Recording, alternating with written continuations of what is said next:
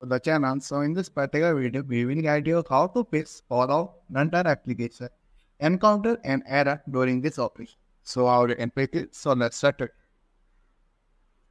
So here the first fix we have to do check DLC list.txt file permission. So you have to simply go into your file manager and navigate to your users, then joiner and then going to app data. And then after we have to go to local or a Fallout 4. And after this, you have to locate the DLC list dot text file, right click on the this link and select properties and going to ensure the read only attribute is not checked.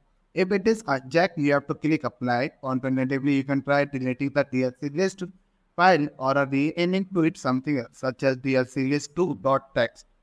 Okay, this is first solution. We have to move to fix. So locate the installer. Ensure you are looking in the correct directory for the installer file. You cannot find installer.exe in the folder folder, we have to double check the folder. So here the fix thing, we have to run the installer as an installer. Find the installer.exe file in front of Fallout Magnet folder folder and right click on the installer.exe and select run as administrator. After this, we have to run the installer as an administrator can add bypass permission issue that might be causing that. So here the fix for ensure sufficient disk space.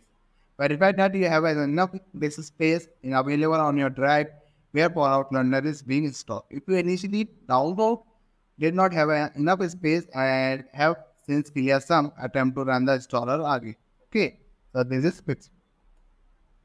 So that's how you can resolve this problem by following the, this solution. So thank you for watching this video. I hope you understand how you can resolve.